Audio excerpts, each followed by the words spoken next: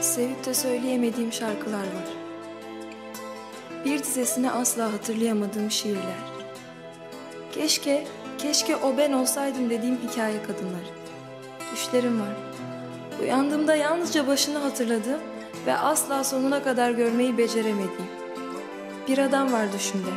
Tam dokunacakken uyandırıldı. Bir adam sonumuzun ne olacağını hiç öğrenemediğim.